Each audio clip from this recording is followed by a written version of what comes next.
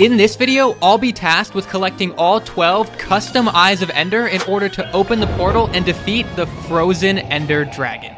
This will require me to not only locate a ton of custom structures, but also to take down some very powerful bosses. Will I be able to accomplish all of this within my final 100 days in this apocalyptic blizzard? It's time to find out. So on day 201, my adventure continued. But before I could get started exploring and fighting bosses for those custom Eyes of Ender, there were a couple of other things I needed to get done. First, I decided to check in on those villagers that I had found in that igloo at the end of the previous 100 days. I wanted to convert one of them into a librarian that traded mending, since none of my current armor, weapons, or tools were enchanted with that. But apparently, getting a librarian that trades mending is not the most common thing in the world, because I pretty much spent the entirety of this day just replacing that lectern over and over and over again to refresh the trades before I was finally able to get one that traded mending. But this librarian wasn't going to just trade me these mending books for free. I was still going to need to come up with some emeralds in order to actually trade. So I decided to convert that other villager in the igloo into a Fletcher, which would offer me a trade where I could give him sticks in exchange for emeralds. In order to get the amount of emeralds I was looking for though, I was admittedly going to need a lot of sticks. Thankfully though, my mob grinder had produced so many bones in the last 100 days that I essentially had access to infinite bone meal and could instantly grow as many trees as I wanted to. As I continued to grind out these sticks though, I also teleported back to the igloo and set up both the villagers with some beds. That way, each morning their trade amounts would be refreshed. The next day, I came back and found one of my captives trying to break free using those ladders that led out of the igloo, which obviously I was not about to allow, so I broke all the ladders beneath him and dragged him back down with me. Then, as opposed to getting mending on all of my important items right away, I actually decided to use 20 of the emeralds in order to spawn another baby villager inside of my base. I didn't really have any immediate purpose for this new villager, but I just had a feeling that it was going to come in handy at some point throughout my journey for these custom Eyes of Ender. And now that I had that replacement, I grinded up some more sticks to trade for emeralds and finally got my first mending book, which I decided to apply to my moonstone leggings since my chestplate had a conflicting enchant on it called Reforming. And I also found out that that Sharpness 5 Ancient Tome that I previously had thought was no good actually was insanely OP. Because when combined with a Sharpness 5 book, it would create a Sharpness 6 book. In order to make the book though, it was going to be pretty pricey, costing a whopping 35 enchantment levels. As expensive as that is though, I'm sure most of you agree with me that it's still very worth the price. So I spent the next two days just grinding mobs in my mob farms for XP. And finally, at the end of day 208, I was able to create my Sharpness 6 God book. I decided to hold off on applying it to anything though for the time being because this was a pretty rare item to have and I didn't want to just waste it on one of my current swords and then regret that later on. So I chose to instead begin my explorations now because not only was I going to have to do this anyway in order to get all 12 of these eyes and travel to the end, but I also figured there was a pretty good chance that I would find something along the way that would help me make a sword worthy of these enchants. First though, I had to make a quick little trip to the Warp Forest in the Nether in order to gather some ender pearls for some more of those waystone teleporters. Because the last thing I wanted was to get trapped somewhere thousands of blocks away from my base while exploring. I made it back to my bunker the next day, crafted some of those waystones, and also threw a mending book on my adjusted cooling helm, since this trip to the nether had made me realize it was arguably my most valuable item, and it also had really low durability, so it would definitely benefit from the mending enchant. And then on day 211, I stepped outside into that snowy wasteland once again. Except this time around, things were looking a little bit different, because ever since I slayed Frostmaw, that very dense fog I was having to deal with before had pretty much entirely cleared up. As I continued walking, I stumbled upon a tiny little house, and when I went inside to explore, I found a mob spawner and some loot chests in the basement. The loot in this house, though, was admittedly kind of terrible, but it gave me hope that maybe I could find another house down the line that would have something really OP. And that wish almost immediately came true, because as I continued to explore, I found another loot chest that had a ton of crazy OP items, including a Looting 3 tome which I could combine with that Sharpness 6 God book I made a couple days earlier to create a Sharpness 6 Looting 4 God book, which was obviously just way too good to continue to pass up on using. So I decided to use one of those netherite ingots I had previously found in that haunted mansion to create a netherite sword to apply this book to. But in order to both create this book and apply it to my new sword, I was going to need to get to level 35 not once, but twice. So as you can probably guess, I spent quite a bit of time grinding XP levels. Getting to level 35 is no joke, especially when you have to do it twice, back to back. Finally though, on day 216, I hit level 35 for the second time and created that very overpowered netherite sword. And now that I was feeling a lot more powerful, it was finally time to begin searching for my first custom Eye of Ender. Well, technically my third custom Eye of Ender, because I had actually already found the first two in the previous 100 days. The first of these being the Cold Eye, which I found in that igloo where those two villagers are located now. And the second one being the Corrupted Eye, which I found while exploring that haunted mansion that had those netherite ingots and a bunch of other crazy OP loot. Anyways though, I decided that for my first eye, I would try and hunt down a black eye, which could only be found in buried treasure which meant that I would first need to find a shipwreck somewhere out in the ocean and get a treasure map. Thankfully, I was able to create these handy little items called Greater Eyes of Ender, which would point to any custom structure of your choosing. So I set one to point to a shipwreck, threw it up in the air, and followed the direction it pointed to. And after a full day of walking, I managed to find a tiny little shipwreck under the frozen ocean. It didn't look like there was going to be much loot inside of this thing though, so I was just praying I would get lucky and find a treasure map. And much to my surprise, there was a treasure map inside, which was a absolute lifesaver. And even better, after taking a look at the map, it seemed like the buried treasure was super close by. So I followed it to the nearby shore, dug up the buried treasure, and inside found the Black Eye leaving me now with 9 more custom eyes to collect. Next, I set my sights on getting the Old Eye, which could only be found in desert pyramids, so I switched my Greater Eye of Ender to point to a desert pyramid and began following its direction. And as I continued to look for this desert temple, I ended up coming across a massive abandoned city and decided to search around and see what I could find. Initially, I thought it was just going to be a bunch of empty buildings that had some mobs inside, but after clearing out one of the areas, I discovered some loot chests. And inside one of these chests, I found the Rogue Eye, which was very unexpected because those are only supposed to spawn in jungle temples. But hey, I wasn't to complain because that was just one less structure I needed to locate and it brought me up to four custom eyes in total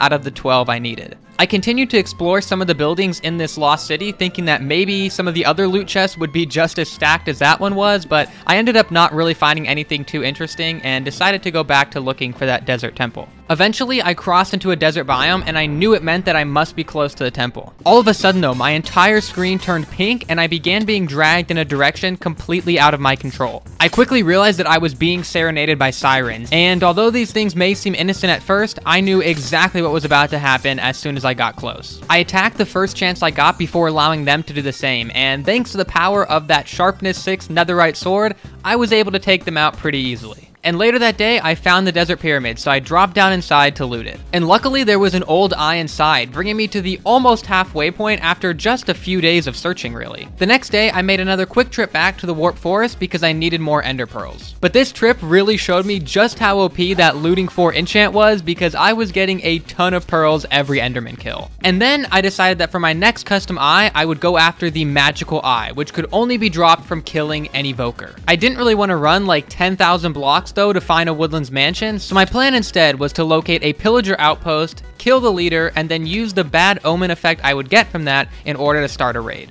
When I finally managed to get to the outpost though, I was greeted by a total of zero pillagers, so it looked like that plan wasn't gonna work and I was just gonna have to walk to a mansion anyway. Which is exactly what I started doing on the next day. And I actually ended up being super glad that I did because I found a ton of stuff on this day. First, I randomly ran into an iceologer out in some massive mountains biome and took him out and got a wand of freezing. And I also found both a Cyclops and Dragon's Den along the way as well that I was planning on revisiting later once I was a little bit stronger. And these discoveries just kept going because right after that, I also found a village, which would have been really, really useful if I was still trying to start that raid. But you know what? I'd probably still be able to find some sort of use for it later down the line. This mansion was really, really far away though, because I continued walking for another three days in total before finally at the very end of day 200 231, I arrived at the mansion. And the next morning, after getting a good night's sleep, I went inside. I decided to swap out the extendo grip in my offhand though for a shield of strength, which was a special item I had found that would give me extra damage. As I explored the rooms on the first floor of the mansion, I found a couple of vindicators walking around, but I was able to take them out pretty easily.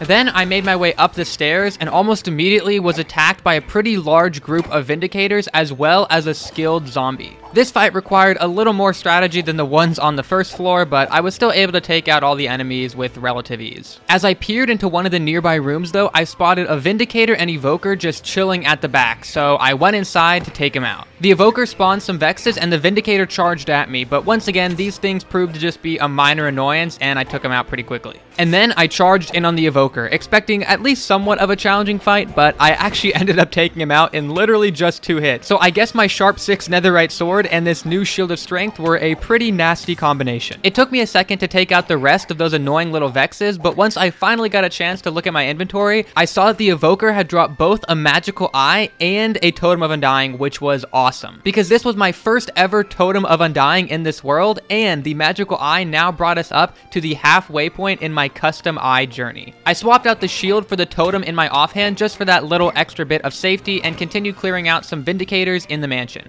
I also found another room that had an evoker inside, so I quickly took him out for another totem and that extra magical eye. I cleared out the rest of the rooms in the mansion just to make sure I wasn't missing any Vindicators or Evokers because both the Emeralds and Totems were pretty nice to get, but once I was sure there was not a single mob left inside, I headed home and went to sleep for the night. I had once again used my last Waystone during this little adventure though, and needed to get my hands on another one. But I was kind of tired of constantly going down my mineshaft to get the lava for obsidian, so instead, I decided to set up a little dripstone farm that would automatically generate lava for me to make my life a little bit easier whenever I needed to craft these things. And then I started my quest for my next custom eye the Guardian Eye, which would require me to locate an ocean monument and defeat the Elder Guardian inside. As I started heading for one though, I ended up coming across a mine shaft and decided to go down and see what was inside. As I started to make my way through this mine shaft, I quickly realized this was no ordinary mine shaft. This thing was absolutely massive. I continued to just follow the rail tracks down to the different ends to see everything this place had to offer. And at one of the dead ends, I ran into this massive emerald vein which seemingly had like 50 ore all piled up in one little spot. As I was mining it though, I was suddenly attacked by a lava monster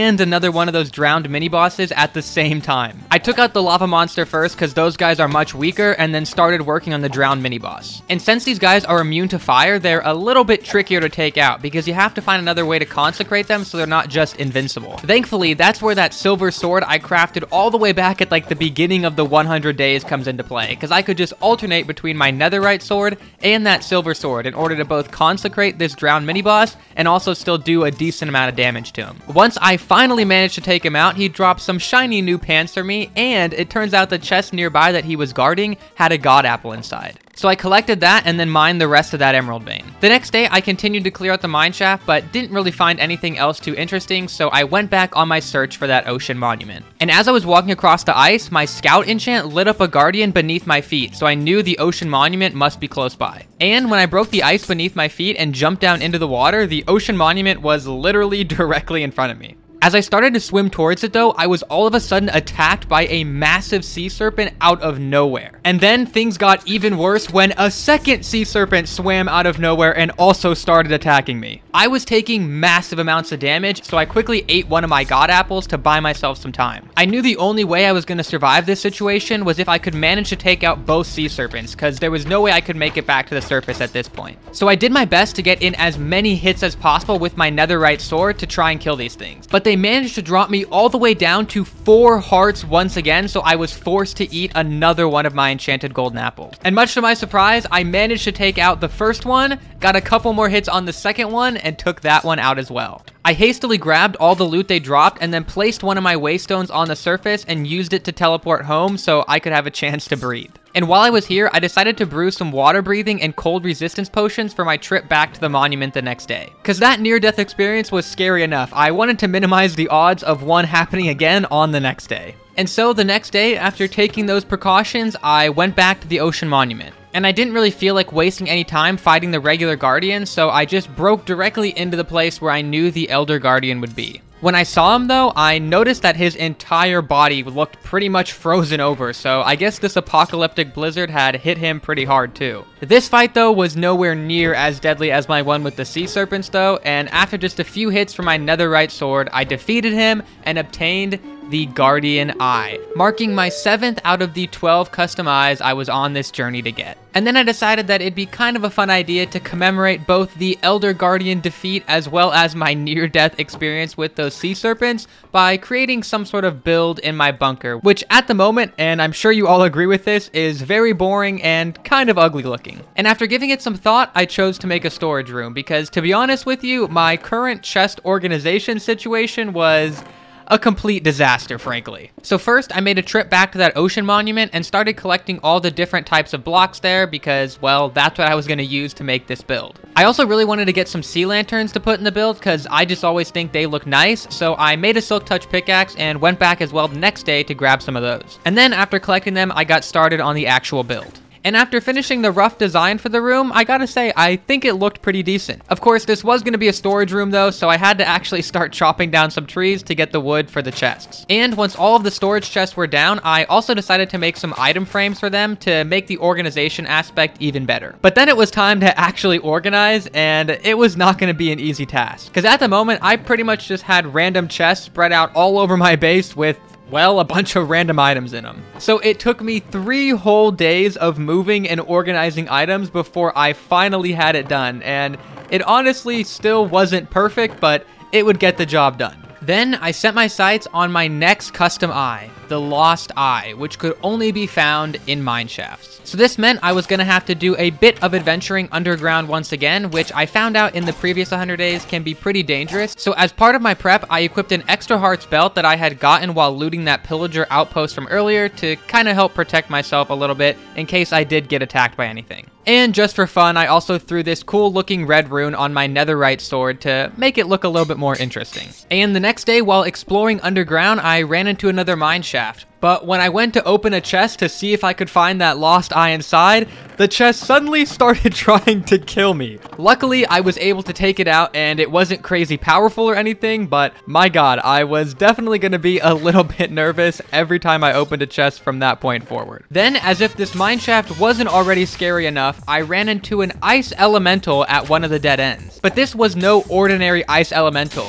This was an ice elemental mini boss which means that it was much stronger than usual. At first, I was super scared of this thing, because even just the regular ones have caused me enough problems in the past. But after taking a couple hits at it, I realized I could pretty easily just keep it stuck in the ceiling, and it couldn't really do much. But then after continuing to hit it for like two minutes straight and it still not being dead, I was starting to think it might be invincible. But I was determined to see what kind of loot this thing was to drop. And finally, after like four minutes of constant swinging, I killed it and was not disappointed. Because it dropped a Moonstone helmet and Moonstone leggings. And on top of that, the helmet had both adjusted cooling and mending already on it. So the helmet was like a god tier upgrade version of the scuba helmet I was already wearing. So even though that boss took way too freaking long to kill, it was well worth the wait. The Moonstone helmet was pretty badly damaged though, so before continuing to explore, I went back to my base and grinded some XP levels for a little bit to repair it.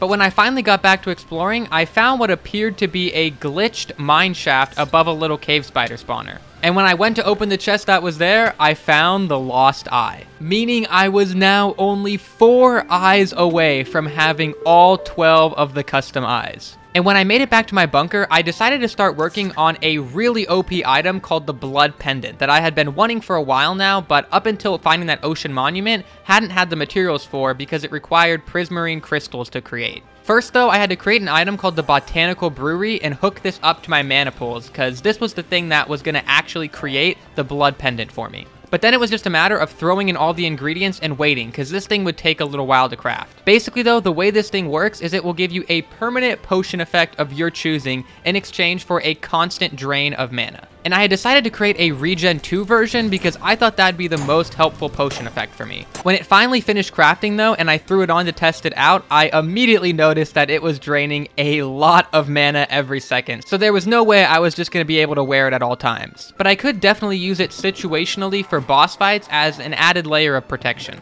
And for my next project, I decided to continue along those lines of making myself as overpowered as possible. And to do that, I was going to start a raid. Because even though I had already dropped two magical eyes from evokers and didn't really need any more of those, it would still be kinda cool to just stockpile up a bunch of totems of Undying just in case it ever came to a point where I needed them. But first, I needed to convert that abandoned village I had found into an actual village, because right now it was just a bunch of zombie villagers, so I wouldn't even be able to start a raid there if I wanted to. And after walking all around the village to get a rough count, I spotted 5 zombie villagers in total, meaning I would need 5 golden apples and 5 potions of weakness to cure them all. I decided to target the golden apples first since I already had all the gold I would need and just needed to get 5 apples. And with the combination of my infinite bone meal and my extendo grip to reach tall leaves, I was able to collect 5 apples super quickly. So then it was time to shift my focus to those potions of weakness that would require me to have a fermented spider eye, which was going to be a bit of an issue because I currently had zero brown mushroom. My first thought was to explore those massive caves beneath my base because I had seen a lot of mushrooms down there and I assumed there would have to be a brown mushroom somewhere, right?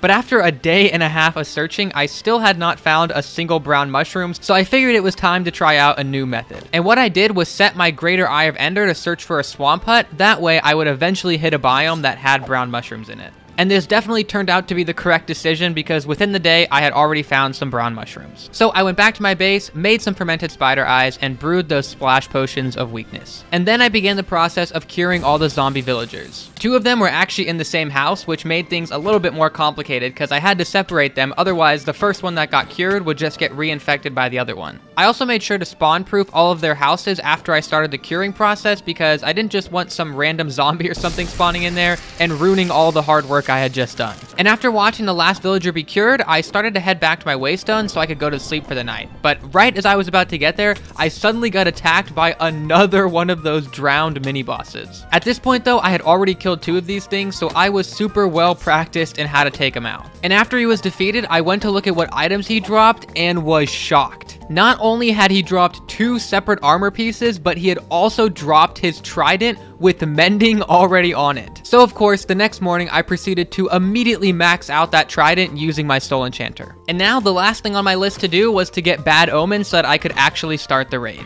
And after a little bit of research, I found out that in this mod pack, you don't kill the pillager outpost leader to get the bad omen effect. Instead, all you have to do is take the banners that are found at the outpost and light those on fire. I already had two of these in one of my chests that I happened to grab the last time I visited that pillager outpost, but I wanted to get bad omen 5, so I needed three more. So I headed back out into the blizzard and started looking for another outpost. This time, the outpost I found actually had some pillagers there that I needed to take out. So I decided to use my trident on them to test out its strength. And as it turns out, this permanent snowstorm meant that every time I hit a mob with my trident outside, it would get struck with lightning because of the channeling enchant. So in outdoor settings, this trident had now become my most powerful weapon by far. After taking out the remaining pillagers, I grabbed all the banners I could find and headed home for the night. Then in the morning, I went to a spot away from my base so that the villager in my bunker wouldn't trigger the raid and burned all five banners for Bad Omen 5, and finally TP'd into the village to begin this raid. And the first wave immediately hit me with something that I was not expecting when one of the pillagers started throwing miniature creepers at me. But with the combination of my OP trident and netherite sword, I was able to handle this group of pillagers pretty easily. But then I noticed the bar at the top indicated there was still one pillager left somewhere, but I could not find him for the life of me and I literally spent like four minutes walking around searching for him before I finally saw him just chilling in a random hole somewhere. Thankfully, after taking him out and starting Wave 2, I did not have the same problem and finished Wave 2 super quickly. Waves 3 and 4 were more of the same, with there still not being a huge number of pillagers, which made it pretty easy for me to handle. But then, Wave 5 was a totally different beast. To start, there were way more pillagers in this wave than there had been in any previous one, and a bunch of them were even decked out with diamond armor. And as if that didn't amp up the difficulty enough, there was even an evoker and a ravager in this wave. I began by using my trident to do some range damage so that I could keep my distance from the big group. Then I used my trident to take out the ravager from a distance so it couldn't get any big hits in on me. I took out the remaining pillagers that were nearby and then finished off the evoker, collecting my third totem of undying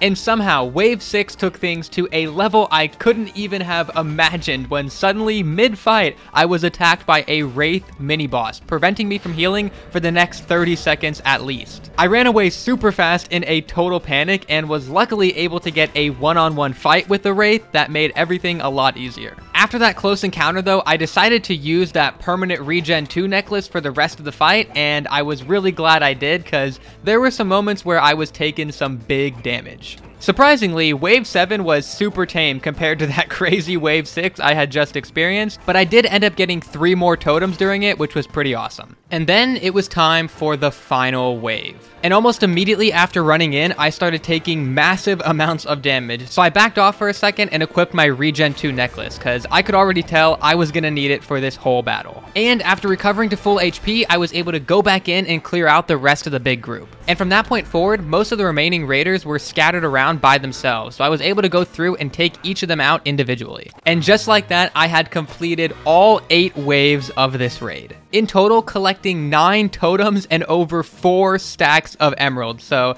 I have to say, I definitely think it was worth it. I felt kind of bad for the villagers that their entire town had just been ravaged though, so I decided as a token of my gratitude for allowing me to host the raid in their town, I would spend the next couple of days fixing everything up for them, because even ever since I arrived, this place has looked kind of ugly. I started out by just fixing up the exterior of the houses by replacing any mossy cobblestone with regular cobblestone, replacing the frozen wood with brand new fresh oak wood, and then just removing any cobwebs or snow that was lying around. A lot of the houses even just had straight up blocks missing in a lot of the parts though, so fixing up this whole place took me a little bit. I actually ended up discovering a couple houses with zombie villagers still in them along the way, so I decided to leave those alone for now so I wouldn't get confused on which ones had regular villagers and which ones had zombie villagers in them. I also set up a small little animal pen in the center of the town with some chickens using the eggs for my egg farm because I feel like a village just isn't complete without at least a couple animals. And then I used a bunch of my own materials to craft five cocoons and spammed emeralds on them to guarantee they spawned a villager. And finally I went around and gave the villagers some jobs that I thought could have some useful trades for me later on. As night fell though, a massive zombie horde came storming into the town and I was really worried that all the villagers were gonna die and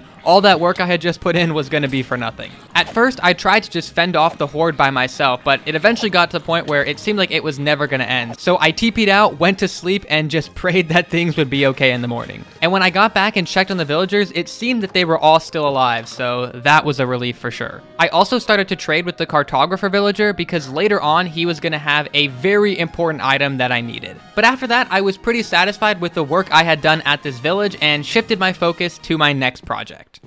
And that project was to go blast mining for netherite. But in order to do this, I was to need something to actually do the blast part of the blast mining. And I figured the easiest item I could get that would do that was beds. Currently though, I barely had any wool and zero sheep in my animal pen, so I was to need to fix that. So I made seven more of those animal cocoons and placed them down in the pen, just hoping that one of them would spawn a sheep. And when they hatched, I was pleasantly surprised to find two sheep as well as a large variety of other animals. The next day they had grown into adults, so I breeded and sheared them. The unfortunate part of this whole process though is that there is a cooldown between breeding times, so I was gonna have to do some waiting. I was able though to craft an item called the Lamp of Growth, which would shorten the time it takes for a baby animal to grow into an adult animal. This process of breeding and shearing continued on for about another day or so before on day 276 I was comfortable with the amount of beds I had and I traveled into the nether. When I got there though, I noticed that even with my adjusted cooling, I was still overheating at times, so I decided to brew some heat resistance potions to help keep me cooled down. But then I went back in, found a good spot to start blast mining, and placed down my first bed.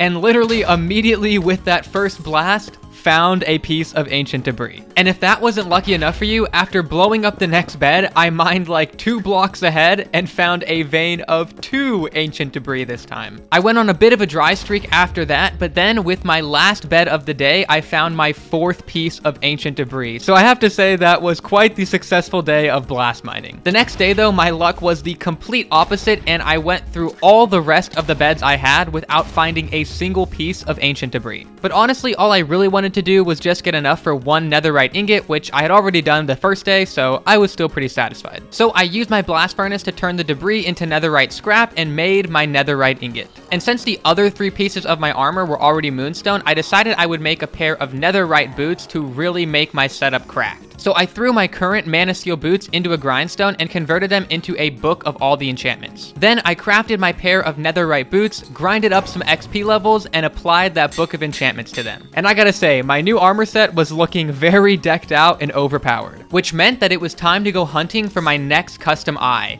the Nether Eye, which could only be found in nether fortresses. So I traveled back into the nether, and after navigating my way through a basalt delta and fighting this very interesting looking creature, I spotted a nether fortress on my map. So I very carefully made a bridge to cross to it as I dangled over this massive pool of lava. And after arriving, I checked the first chest I found, but to no avail since there was no nether eye inside. But then I spotted a second chest and ran over to open it. And inside, I found the nether eye, meaning I was now 75% of the way done with these custom eyes. And to make things even better, I saw that there was a bastion remnant nearby to this nether fortress, which is exactly what I needed for the end crystal eye. So I grabbed a piece of gold armor from my base and headed over. And right as I arrived, I spotted a piece of end crystal ore, which was a great start because I only needed four end crystal in total to make the eye. Getting extra would still be nice though because there are some pretty cool armor and tools that can be made with it as well. Apparently my gold armor was not working though because when I went to go open one of the chests I spotted here, I was immediately attacked by a piglin. And when I retaliated, like three more of his friends showed up, so I started to run back because I did not want to be knocked into the lava. Then I used my bow to take all of them out from a distance and went back to loot the chest, but it ended up not really being worth it because the chest basically had just a bunch of trash in it. And after finding another end crystal ore and mining it, I now had a total of six end crystal, meaning I already had enough for the custom eye. I stayed around for a little while and continued to loot the remnant, ending up with a total of 13 end crystal, meaning I had 9 extra if I wanted to craft some of those armor pieces or tools. The next day, I even went back to search around a little bit more just to make sure I had not missed out on anything. I did end up finding some ancient debris in the process, but I didn't really need that anymore at this point, so it wasn't of too much use to me. And once I was sure there was not a single piece of useful loot left in that entire place, I headed back to my base and crafted the end crystal eye, meaning that I was just now two custom eyes away from being able to travel to the end and take on the frozen dragon. And with my leftover end crystal, I crafted a pickaxe to replace my current Manasteel pickaxe and also a hoe just because I thought it was funny. I spent day 285 just trying to max out this end crystal pickaxe to make it as good as it possibly could be, but when I went to go test it out, it honestly didn't seem like that much of an improvement, so I was a little bit disappointed. And now, for my second to last eye, I would need to acquire the Wither Eye, which, as you can probably already guess, would require me to defeat the Wither. Before I could spawn the Wither though, I would need to get my hands on three Wither skeleton skulls. But at the last nether fortress I had visited, it didn't really seem like many Wither skeletons were spawning there, so I had a bit of a different plan in order to get those. My plan was actually to use one of the mods that would allow me to spawn Wither skeletons inside of my base. And while that might seem kind of inefficient at first, the summoning process actually turned out to not be super costly, so it seemed like the better alternative to me. So after gathering a decent amount of each material so that I could actually summon a decent amount of wither skeletons, I began the process. And on the first day of doing this, I dropped not only skull number one, but also skull number two. So it seemed like I had made the right decision. And the next day, I dropped the third and final skull, so I began to prep for the actual fight itself. And the main thing I did was actually enchant my silver sword with Smite 5. Because similarly to the drown mini bosses, the Wither is immune to fire, so I would need to find a different way to consecrate him so that he wasn't just invincible. And then on day 289, I placed down the soul sand and the Wither skulls,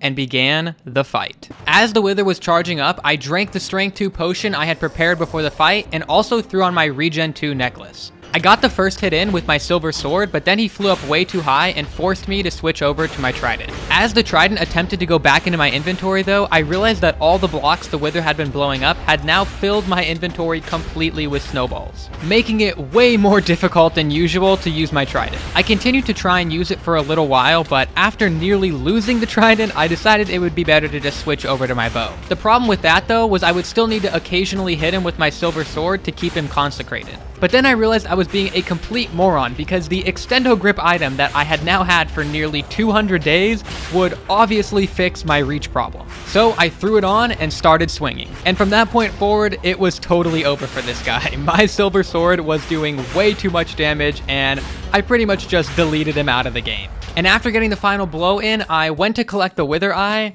and then started to panic when I realized I didn't see it. For a second, I thought he hadn't dropped it and I was gonna have to fight another Wither to get one, but then I realized it was just blending in with some snowballs on the ground. And just like that, there was only one more custom eye I needed to get. And this eye was actually gonna be the easiest one to get yet because I already had all the materials needed to craft it. But before I did that, I had a bit of unfinished business. Because if you remember way, way earlier when I was traveling to that Woodlands mansion, along the way I discovered both a Cyclops den and a Dragon's den. And I wanted to take both of those guys out. And I decided to start with the Cyclops because I assumed he'd be a lot easier, but boy was I wrong. Because for some reason, this guy was able to just endlessly spam his attack that would launch me up into the air and drop me back down. And I started to take so much damage from this attack that I decided to just eat one of my god apples so that I didn't risk dying this late into my adventure. I eventually managed to take him out, and things only got even worse when I went into his den and realized I had pretty much gotten no loot for it. And when I went back to my bunker, I realized that my netherite boots had taken quite the beating during that fight. So I spent the day getting mending on those and then grinding XP to repair them because I did not want to lose them.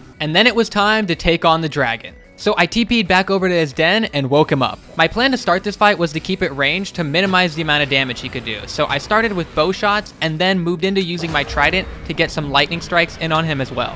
Once I realized that he wasn't really doing that much damage to me though, I just decided to go in with my Sharp 6 Netherite sword because I figured that would take him out pretty quickly. And only a few sword strikes later, I had slayed the dragon. Once again though, the chest loot I found at his den was pretty underwhelming. But I had still gotten this really cool dragon skull out of it that I was able to hang in my chest room, so that was kind of nice. And with those two monsters now slain, it was time to get this end portal open. And to begin that process, I actually needed to head back to the village and talk to the cartographer, because he was going to trade me a map to where the end castle was located. First though, I had to spend an entire day just doing a bunch of trades with him in order to unlock the end castle trade in the first place. When I came back the next morning though, he had the trade, so I gave him some emeralds and purchased it. After taking a peek at it though, I knew that this thing was very, very far away. But I had to get there somehow, so I started running. And then kept running, and running, and running some more. But finally, after approximately three full days of just running, I made it to the end castle, and this place was massive. I spent a little bit of time just walking around and soaking everything in though because this build was just incredible. Eventually though, I stumbled across the portal room and knew it was time. So I headed back to my base and grabbed the materials for the final eye. And then I threw everything into a crafting table and made the powered core, which was the 12th and final custom eye. I then grabbed the other 11 custom eyes that I had collected throughout this entire 100 day journey, and of course got a good night's sleep before the big day. And on the morning of day 299, I placed all 12 of my custom eyes into the portal and then jumped in. When I arrived in the end though, I was trapped in some sort of weird endstone box. And as I began to dig my way out of it, I noticed my temperature dropping literally as far as it could. So Apparently, the end was freezing. Thankfully, I still had two cold resistance potions, so I drank one of those and it seemed to fix my issue. And as I approached the center part of the island, I spotted the frozen dragon. I knew there wasn't much point in shooting at him though until I had all of these end crystals taken out, so I started working on that. As I was building up to one of the locked in end crystals though, I suddenly got hit by the dragon and was completely frozen. And this freezing effect lasted for way longer than it had from any other mob. Thankfully, I didn't take any damage while frozen, but I was definitely to need to be careful of that attack from now on. And after getting back down on the ground, I noticed that it had also applied the chilled effect to me, which meant that whenever the dragon hit me, I was not to be able to regen for like 20 to 30 seconds at least. After taking out the final end crystal though, I began putting in some shots on the frozen dragon dragon. I continued to get hit by some of his ice ball attacks, but the scariest part wasn't the damage it was doing. The scariest part is that they kept applying that chilled effect, which was completely preventing me from regenning any hearts. When he got down low to the ground, I went in for a sword attack, but was frozen completely solid. Luckily, I broke out of it and was still able to get in a couple of good sword hits on him. I continued to fire bow shots at him for some time, eventually dropping him to about half HP. But then, I heard the sound of ice elementals spawning in, which was the last thing I wanted to hear at that time. I knew that it would make it 50 times harder to hit the Ender Dragon if I had these guys constantly annoying me, so I shifted my focus to taking out the Ice Elementals. One of them, though, actually managed to drop me down to one single heart because of the chilled effect from the Ender Dragon, forcing me to eat a golden apple. After I took out the Ice Elementals, though, I continued to try and get some hits in on the Frozen Dragon, But then the Enderman started attacking me too, dropping me to one single heart again, and I had to pop another golden apple. And to make matters even worse, the time between the Ender Dragon's attacks was getting shorter and shorter. And like 70% of the time, I was just totally frozen solid while trying to fight this thing. And one of his attacks even hit me so hard that it popped a totem. The regen effect from the totem actually put me back to a decent amount of hearts once again though, so I went back to firing shots at the dragon. I wanted to use my Regen 2 necklace because obviously in this situation it'd be extremely helpful, but for some reason the end had completely drained me of all my mana, so it wasn't going to be an option. And after another wave of ice elementals spawned in and started to simultaneously attack me with the ender dragon, it popped the second totem, forcing me to pull out a third one. I had brought a total of four with me, but a couple more moments like this, and I was going to be in serious trouble. But these hard-hitting attacks just kept coming in, and almost immediately after, it popped my third totem, dropping me down to my final one. But I had managed to drop the dragon down to what looked like his last 10% of health, so I was really close to ending this thing. The dragon continued to nearly constantly freeze me, but his health was so low, I could almost taste the victory. I kept getting in as many bow shots as I possibly could in between each freezing attack, but as I ate my final enchanted golden apple, I was a bit scared that I might not make it out. His health was low though, so I just kept firing shot after shot, dropping him lower and lower each time, before finally I hit the final shot, defeating the frozen ender dragon. Even now though, I had no time to waste. I was still being attacked from mobs at every angle and even got frozen, so I jumped through the portal and left the end. The apocalyptic blizzard was finally over.